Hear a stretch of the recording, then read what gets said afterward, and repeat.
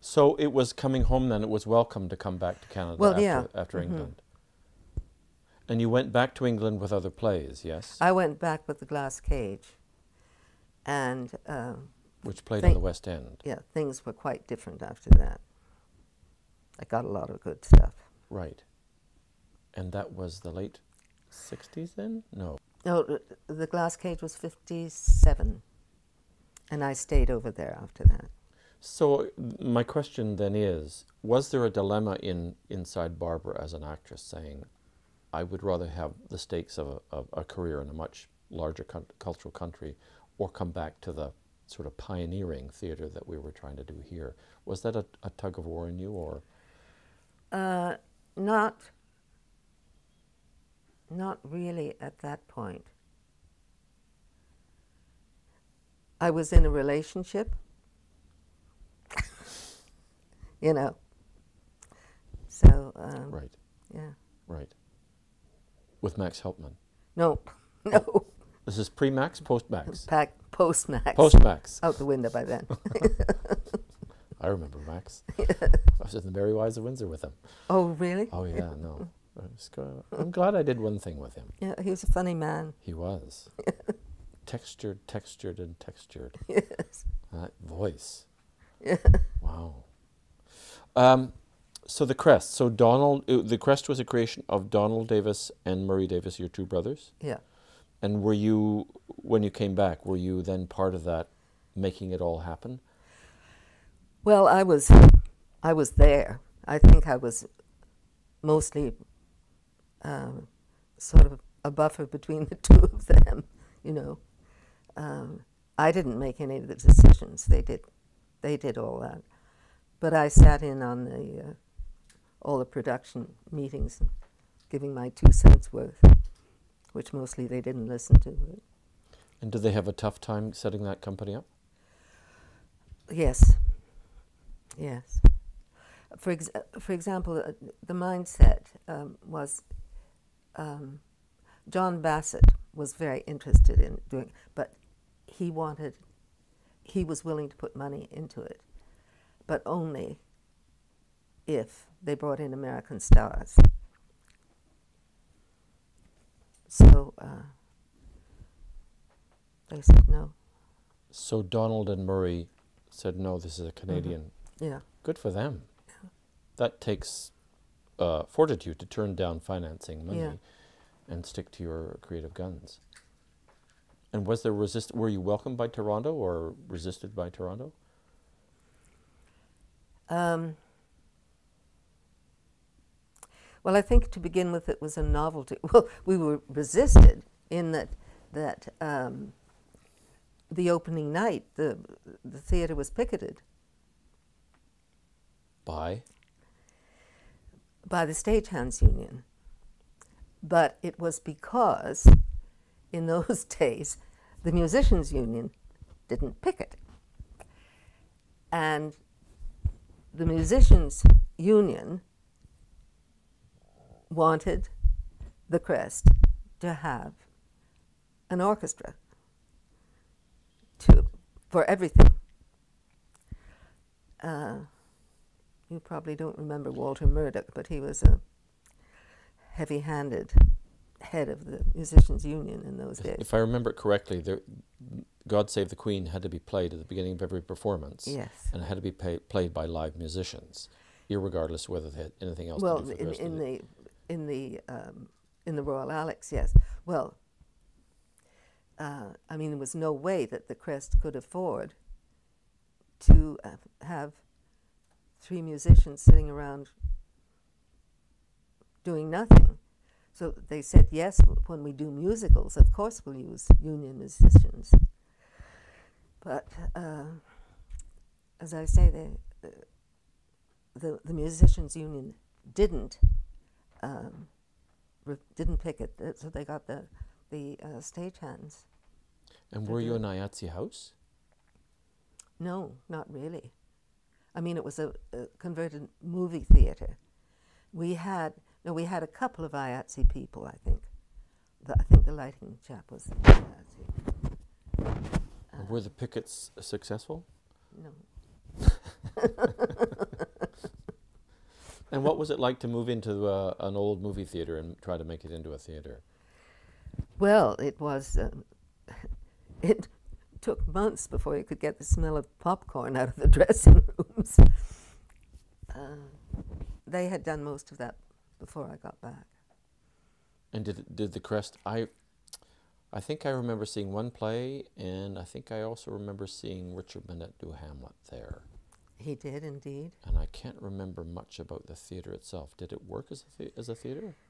Uh, not really. No, I mean, it was an 830 seat theater, and it did have a a small stage, but it had no um, fly room, no no backstage space at all, and it had uh, two dressing rooms downstairs, and uh, no, it was very very awkward, and it was too big, you know, for the, for the purposes.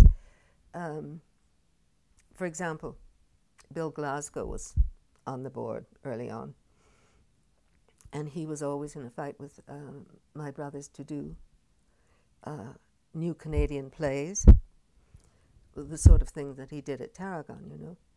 Well, they did several, but they couldn't do a season.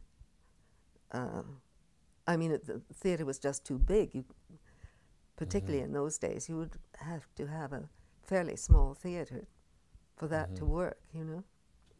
And what sort of houses did you get? I mean, did you get, were you playing it to half houses or two thirds or? Uh, I would say, on the whole, half. For some, there was more, and for some, there was less. I mean, one of the best productions that we did actually was uh, uh, Anouilh's Antigone and uh, they stayed away in droves. You know? And what was the Toronto theatre going audience like? What were their appetites? Well, the thing is that at that point, people would um, spend hundreds of dollars to go to New York for a weekend to see theatre, and they wouldn't get their bottoms up to Mount Pleasant. You know. And did they want to see Hello Dolly and South yeah, Pacific, yeah. or? Yeah, yeah.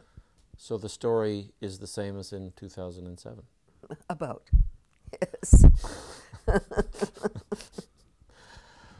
wow. Okay. and it lasted for 12 seasons or 13 seasons. The Crest. Uh, yes, 13 mm-hmm. And it came to an end because. Uh, because. Um, money. The Canada Council withdrew its support. There had been no councils to begin with at all, you know. Uh, but also, there was a lot of politics. For example, uh, the um, chief designer at the Crest for a number of years had been Judy Peyton Ward. I don't know if you know. She was English. She'd worked at the um, at um, Stratford over here, but she'd worked at the Vic in, in London. And she was resident designer for quite some time. And uh, it was the year before the Crest closed, I guess her parents were coming over to see her. They were on board ship. And unfortunately, they couldn't remember the name of this chap they talked to, who, you know, was being very friendly and saying, and why are you going to Canada? And so they said they were going to see their daughter, who was a designer at the Crest Theatre. And, and he said, oh, oh, well, that's too bad because it isn't going to be an operation any longer.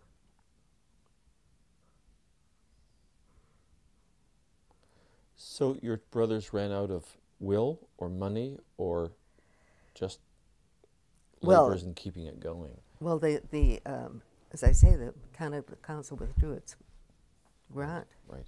Yeah. And that And without that, you, there was no way it could keep going. And as a performer, what was it like to play in the Crest? Well, um, you know, for the first two or three years, one practically lived there because we were doing um, a show every two weeks. Do you have two weeks rehearsal Yes. for a show? Yeah, Oh my God. yeah. So it was halfway to Summerstock, and I don't mean that in a derogatory sense, No, no, but no. it was in a practical sense. It was halfway to Summerstock. Yeah. Yeah.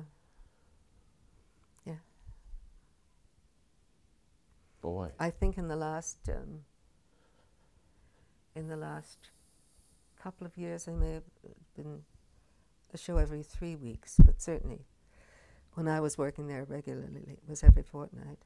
So was it possible to actually make a living as an actress in Toronto in the late fifties? At the Crest, um, we started off seventy-five dollars a week, and I think after about the third year, we graduated to eighty-five. I don't know whether after that anybody got more. I certainly never did. And were people trying to get you know CBC radio gigs and during the oh day yes, and all the rest yes, of it? Yeah. And when you did the Crest Hour Company, was that in addition to that? Yes. So the people in the hour company, you, you know, it was that was part of what you did for your crest salary. Right, right. And would you be in the Hour Company in, in the day at a hi- in a high school in in uh, Scarborough, and then come in and do the show at night? If, if yeah, if it was in town, obviously. Once it went on the road, you know, we were touring. I mean, you didn't, you couldn't play at the Crest and the Hour Company both. And with you, Murray and Donald, who was the driver of of that trio? Oh well, um, I think Murray and Donald equally to begin with to get the thing started, but then uh, after that, um, when uh, when the boys came back from London after the end of the Glass Cage, um, Murray took a sabbatical and the idea had been that they would alternate. So Donald ran the, the company that year. Uh, and I remember I came back from England to do the Summer of the 17th Doll. Uh, and then Murray came back from Australia, and Donald went to New York and never came back. So, so Right, yeah. right.